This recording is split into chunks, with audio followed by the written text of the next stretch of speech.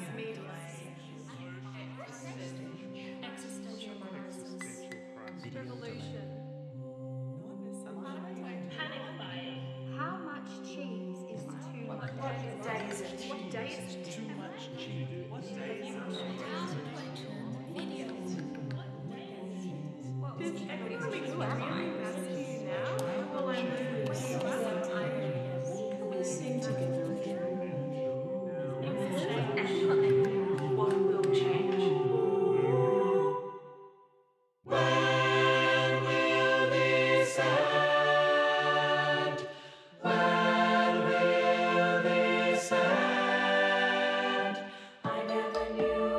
much we need each other, how we miss each other. How I yearn to touch my face. I want to know now, will we all live through this? Will we change our ways? Will the internet collapse? How is it screen?